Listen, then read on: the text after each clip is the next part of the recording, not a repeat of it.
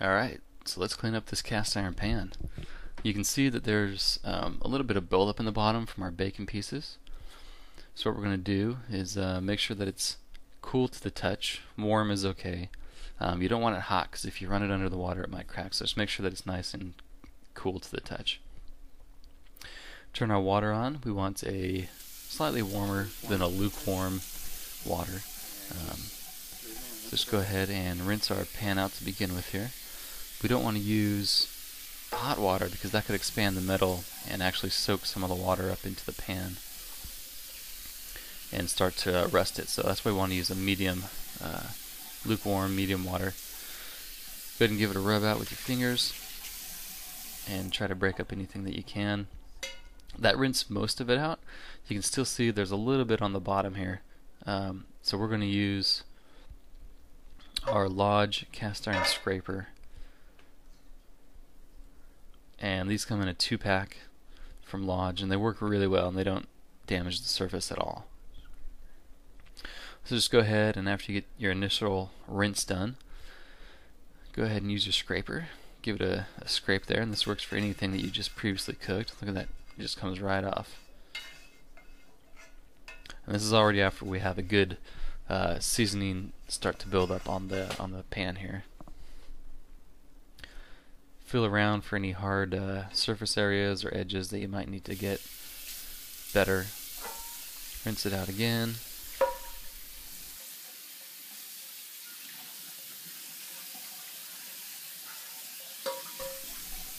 And you can feel surprisingly well with your fingers if there's anything else that needs to be scraped off. So just give it a nice um, feel around the whole surface. There's something right there. Remember also when we're cleaning cast iron that we don't want to use any soap products. Um, water is fine. Water and the scraper work perfectly well. Um, the soap products will start to deteriorate your non-stick seasoning and the good flavor that's building up in your pans.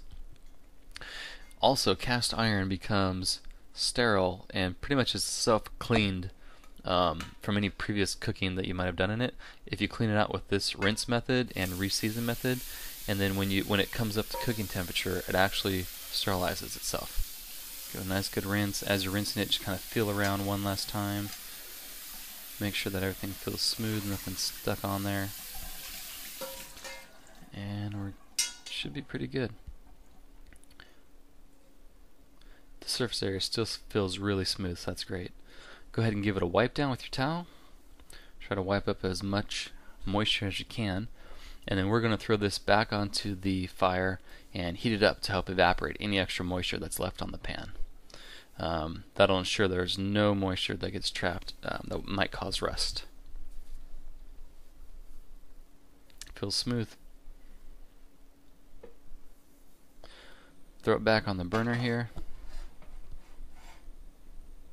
And it might look like it's dirty, but that's just some seasoning building up in there. Alright, back on the burner. We're just to let it heat up for a little while. We want all that moisture to come out. And we also want to open up the metal. When my pan's ready to be seasoned, I usually just feel the handle. If you can feel heat coming into that handle, then you're good. Turn your heat off. Get your seasoning oil out. And put it on your... I use a dedicated rag for my seasoning oil. Squeeze a little bit on there. That's good just to recoat this. And then be careful, use your pot handle holder. And just give it a good wipe. Now be really careful with your fingers because this metal is hot.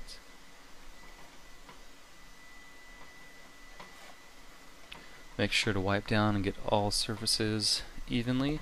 And we don't want to an excess amount of oil on here. We just want a light coating just to cover it. Looks good. Nice beautiful black again.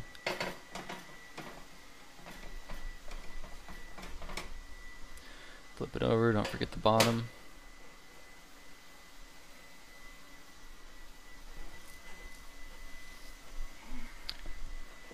and of course your side areas.